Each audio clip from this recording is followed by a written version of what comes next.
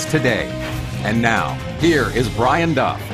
One nothing Kings. They score in the game's opening minute on the power play and have that advantage over the Buffalo Sabres. But we have the advantage of allowing Brad to step aside for a few minutes and welcome in a little Hollywood in the form of Buffalo-born David Boreanaz, who is uh, actor, producer, director, and uh, very busy, I might add, right now. Yeah, we're busy prepping the 200th episode, so it's uh, it's nice to come out and watch a hockey game. Yeah, it's, I'll to kind of get away from the prep and and all the madness. So it's exciting. So give us an idea on that 200th episode of Bones, what we Yeah. might be looking What- at. Well, we're shooting a kind of a homage to Catch a Thief. So we're basically 1954 Hollywood. I play like the Cary Grant character, and Emily plays like the Grace Kelly character. And so I play the jewel thief. She plays the detective, and a lot of dancing and a DC-3 in the air, and a lot of fighting. And at the end, I save the day. I pull the plane up, and everyone's happy. So you know, some martinis mixed in with that. It's all great. So it's a, it's a fun episode. It's a lot of work, but it's it's it's great. Well, as you know, based on the game being here, it's uh, late night television Yeah. back home. Okay. Uh, and now give the viewers an idea of how you got connected to this business through your father, I guess, uh, yeah. a long time ago. Right, Dave Thomas, Rocket Ship Seven, Dialing for Dollars, uh, Mm-hmm. back in the '70s. You know, he had, and he had a kid show, and I would go with my dad to Niagara Falls, and he'd do Rocket Ship Seven,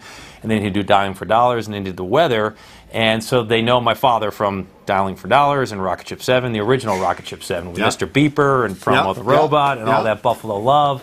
So that's how that kind of started with the, the television thing, and then he moved on to Philadelphia. But uh, my roots are hard in Buffalo, and I, you know I was born in Clarence, and you know I remember Ted's hot dogs Mm-hmm. and Anderson's ice cream, and of course well, you it wouldn't be the same if you didn't go to the chef's restaurant, Exactly, right, and get some spaghetti parm, Yes, right, yes. But a dish that my father Meatball- invented. I'm a sucker for meatball parm, you know, but it's Okay. but yeah, You it- can do that. I you can could do it. you could put the meatballs on top of the spaghetti parm if you'd like to. But a, a dish that was invented with with uh, Lou.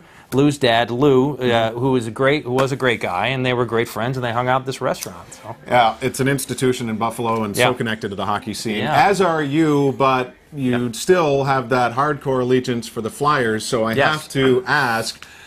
When LA became Philadelphia Mm-hmm. West, was that enjoyable or painful given that the ex Flyers had such great success here in LA? It's tough. I mean, two cups in three years is, is pretty big for the Kings. I Yes. mean, when you look back and you see what they've done and how they won that first cup. And I know when, when Richards was traded over, I know he was very upset how you trade a captain over and move a franchise player and, and give him that contract over to the Kings. And with Carter, it was tough to see those two players leave.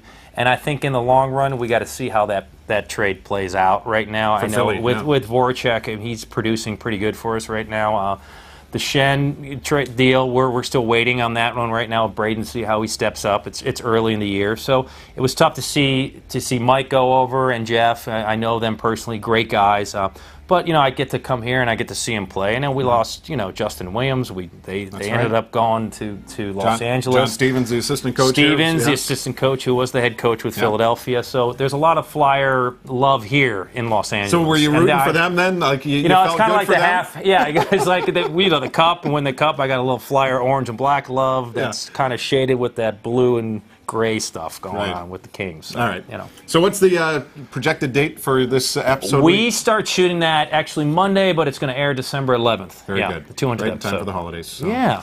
Great to see you, David. Thanks for having me. Thanks so much for being here. Buffalo, I love you. You know, it's great to be here, and you know what? There's always Connor McDavid. Who was in the building in Buffalo Last last, night. and had a four-point game. In a four-point game, right? You know what? Why don't you stick around for the rest of the night? Mayday, Deep draft. night off. Mayday! Mayday! David Boreanaz is our first Niagara interview. First Niagara, the official bank of the Buffalo Sabres. Again, it's a 1 0 Kings lead over the Sabres through 20 minutes of play as that former Flyer, Jeff Carter, has the game's only goal. Back with a look around the league. Out of town when we come back.